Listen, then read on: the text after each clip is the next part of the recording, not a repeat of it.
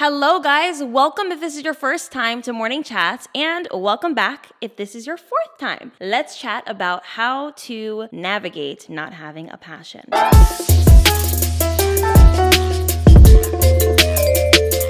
You're in your 20s and you have no passion. Maybe you're even in your 30s. We're gonna discuss that today all about what it entails to have a passion, to develop a career, something entrepreneurial, or anything that has to do with just getting your life on track to the vision that you possibly see yourself at. I have stressed the importance of building a career based off of what you love and what you like to do. I feel like for many years, there was a time when a lot of people did jobs that were not their passion and they did it for money. And honestly, that is so okay. There's a lot of times where we need to do things and make sacrifices sacrifices for the greater good of our families or of our lifestyle and things like that. But I actually navigated this journey of developing my passion about five years ago, where I said to myself, I don't ever want to do anything that I don't love doing, and that includes my job. So many of you guys actually comment on a lot of my financial freedom journey stories that you do not have a passion, so you don't know how this would ever apply to you.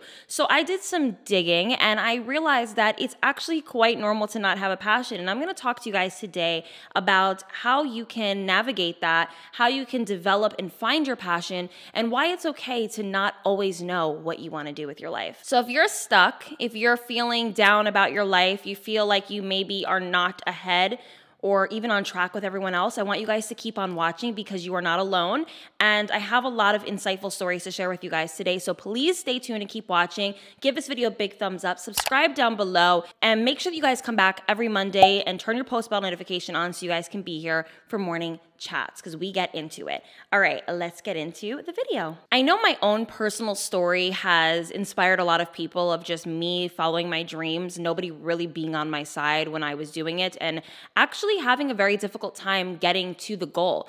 I felt like a lot of people were getting to their goals a lot quicker than me. That was probably my own self negative talk talking. But honestly, I felt like I was taking a lot longer than most people to achieve what I wanted. When actually I realized that there's a lot of you who actually aren't even doing anything that is goal driven or passion related because you haven't found one yet. The story that I want to share with you guys today is the story of the billionaire mogul, CEO, and founder of GoPro, Nick Woodman. Now, I don't know all the logistics about his life, and I'm sure you guys can just look it up on YouTube after this video. But essentially, I actually watched a few videos about him because I was intrigued about his success story. He was somebody who was somewhat of a creator and inventor, wanted to develop and create so many different things. And I feel like it just didn't work out because a lot of the times we start things and they just don't happen for us. Even if we were once maybe very passionate about this thing, it just wasn't how our life was supposed to end up. And he ended up just going on a full journey of surfing for an entire year, I believe. I'm quote me if I'm wrong, but I believe it was a year long surfing trip.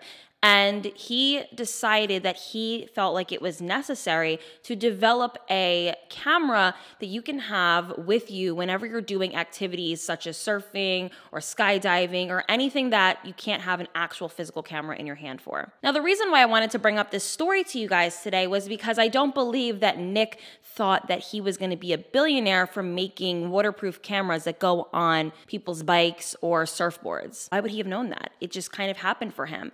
And a lot of the times we don't know what our passion is until later in life. He was approaching his late 20s. He didn't have, you know, it all figured out yet, and that is okay being in your 20s is time for exploration. You're allowed to try and dibble and dabble in different things. You maybe wanted to be an art teacher right out of high school, and now you want to be a lawyer, and maybe in two years, you're going to want to be a dentist. It doesn't matter, and it's okay to change your mind. Let's normalize changing our minds. Social media gives us this perception that everybody has their life together, whether it's they have financial freedom, they have their dream job or career, they know exactly what they want out of life. They bought the house of their dreams, the car of their dreams, they have the family of their dreams, and they know everything about their life and they are just so in touch and in tune with themselves. But the truth is, most people are not that self aware. Most people aren't that in tune and in touch with themselves, and it's okay to find out more and more about yourself. Two years ago, I was a completely different person than I am today. Things that I maybe wanted then, I don't want now. Granted, I do have my career and I love it, but I've even shifted things that I talk about and I've shifted my way of thinking and the way that I have had a view on life. Maybe I wanted to have a ranch two years ago and now I want to live in an apartment. Maybe in three years, I'll want to move to New York City or in five years, I'll want to move to California. These things all change. And the reason why I'm bringing up such random things is because it's okay to not know what you want to do with your life, with your career, or anything like that. I think right now is time for self exploration, finding out more about yourself. What are your morals? What are your beliefs? What do you care about? What do you not care about? What are the things that you want to contribute to society? This is what's going to develop a passion. If you do not have a passion right now, that's okay. And I'm gonna give you tips on how to maybe find a passion if you don't know what it is already. The first thing you have to do is get out there and start doing things. And what I mean by this is you can't sit in your house, lay in your bed, and say, hmm, what's my passion? You have to get out there and try different things. I knew YouTube was my passion because I used to talk to myself in the mirror and pretend that I was doing a YouTube video. Literally, I would sit there and go, So I'm gonna brush my hair and I'm gonna do this and I'm gonna do, and I would do it every single day. So I knew, okay, if I actually had a camera in front of my face, this is something that I can actually do as a career.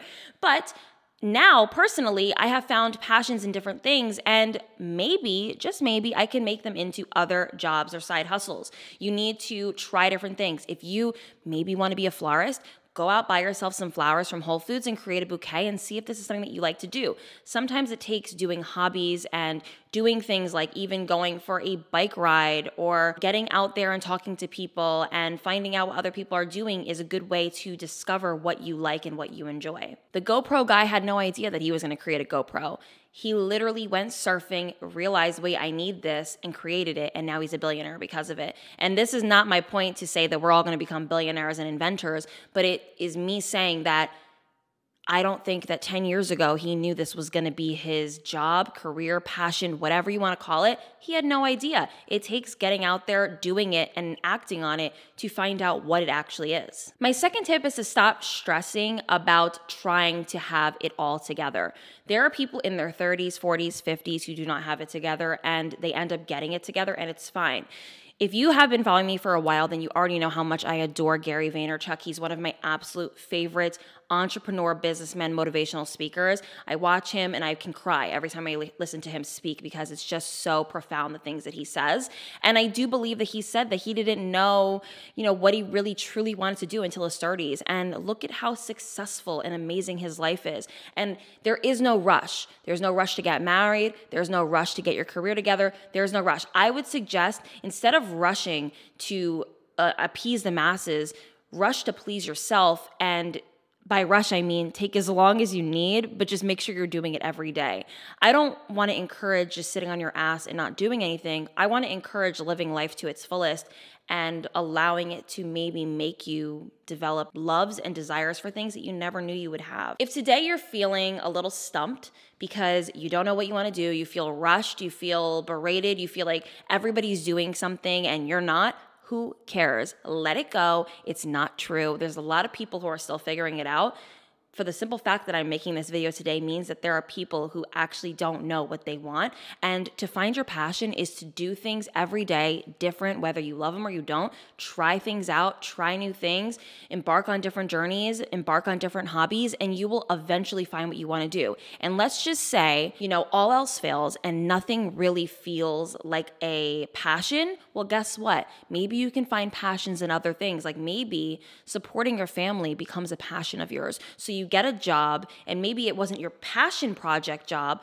but supporting your family is your passion. So this is something that makes you happy every day. Or let's just say you love money and you're passionate about money. Well, then start making money because that's where your passion comes from. It doesn't always have to be, I'm passionate about making bouquets of flowers or I'm passionate about doing YouTube. It could be as simple as, I'm passionate about being happy, I'm passionate about making money, and I'm passionate about having a family, and I'm passionate about buying a house. It could be other things that you can be passionate about that end up driving you to do th- other things that support that level of passion. Let's normalize not always having it together, not always knowing what we want to do. It's totally normal. And on this fine morning, please do not kill yourself over things that you don't know that you want. It's okay. We need to let that go.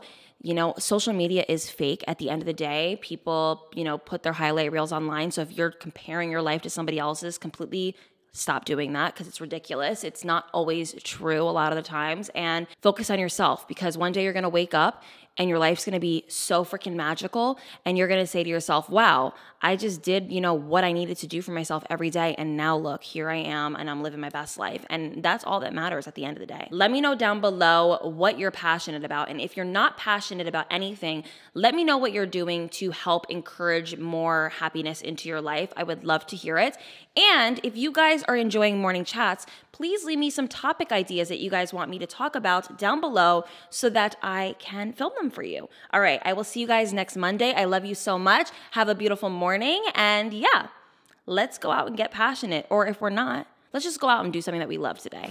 All right, have a good day. Mwah.